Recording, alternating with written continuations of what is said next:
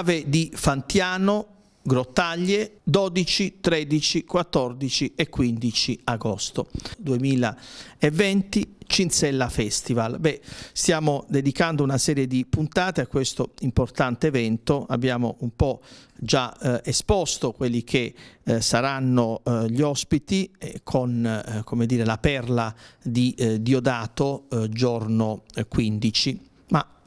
vogliamo approfondire con Mimmo Battista di Afosei, questo è l'aspetto eh, che più ci interessa perché è importante il momento musicale, il momento dello spettacolo, importantissimo di livello per carità, però è, è importante anche come dire, la connotazione sociale dell'evento, ossia la funzione sociale in un'ottica di eh, crescita del territorio attraverso la cultura. Eh, un progetto quindi che va ovviamente a eh, far capire che Taranto può vivere di altro, può vivere di cultura, proprio come opposta alla monocultura dell'acciaio. Sì, mm, ecco, ora dirò una cosa eh, per la quale il mio direttore artistico Michele Riondino si arrabbierà. E lui è il primo che ci crede davvero in questa cosa, tant'è che eh, eh, sono quattro anni che rinuncia totalmente al compenso da direttore artistico, quindi non percepisce una lira, ma lo fa proprio perché crede nelle potenzialità del territorio e dalle, non fa soltanto parole ma, ma fa anche fatti, perché, perché, organizzare una roba del genere,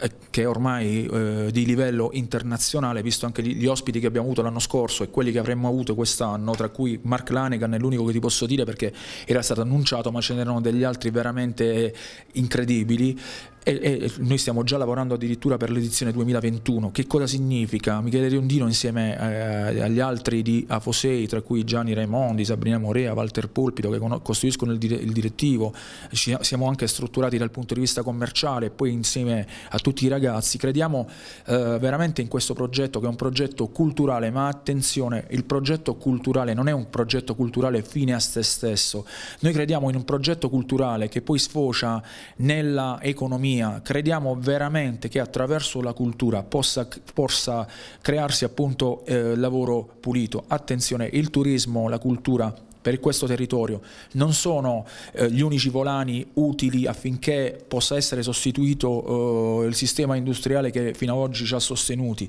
eh, e che ha creato questo sconquasso ambientale, sanitario ma anche economico. Io dico soprattutto mentale perché bisogna uscire dall'ottica di questa proprio come forma mentis di schiavitù no? rispetto all'Ilva. La domanda tipica, se l'Ilva chiude cosa si fa? Se l'Ilva chiude si vive di altro, grazie a Dio, si vive di mare, di turismo, si vive di cultura. Guarda, eh, non sono abituato a scadere diciamo, nella banalità che se chiude l'Ilva... Eh, possiamo, questo è, la, possiamo... è l'elemento che viene contrapposto, no? Ma è un dato di fatto, è un dato di fatto che Taranto, come dicevo nell'altra intervista, è una città europea e mediterranea molto importante che dobbiamo rivalutare, dobbiamo crederci non a parole, mettendoci assolutamente in gioco e quindi penso che la cultura, il turismo, eh, l'enogastronomia, ma soprattutto soprattutto la portualità e della scelta per la quale siamo venuti qui a Porta Napoli possano veramente costituire nel, nel, nel medio-lungo periodo, nei prossimi 7-10 anni,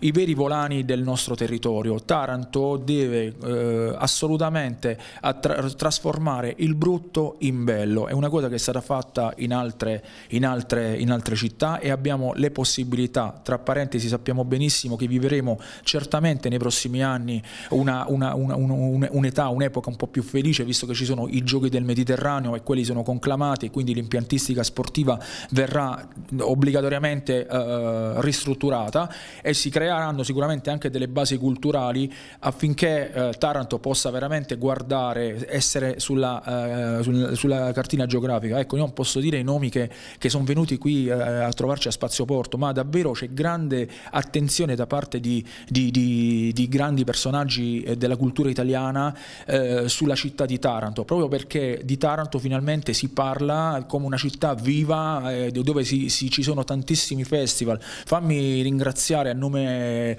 mio, di tutti, di AFO, anche i ragazzi che si mettono in gioco, ci sono festival come quest'anno il Taranto Jazz Festival di Antonio Oliveti, piuttosto che Onde Festival dei ragazzi di, di Mercato Nuovo, che sono degni, degni, degni dimensione. Quindi possiamo creare una rete importante, culturale, musicale, dove ognuno fa la propria parte. Poi ovviamente ci sono quelli più bravi, quelli meno bravi, ma è giusto eh, risaltare l'associazionismo, eh, i privati che, che, si mettono in gioco, c'è grande movimento a Taranto e cerchiamo tutti quanti di, di, di darci da fare perché i nostri giovani, non con le parole ma con i fatti, abbiano, si chiedano prima di partire ma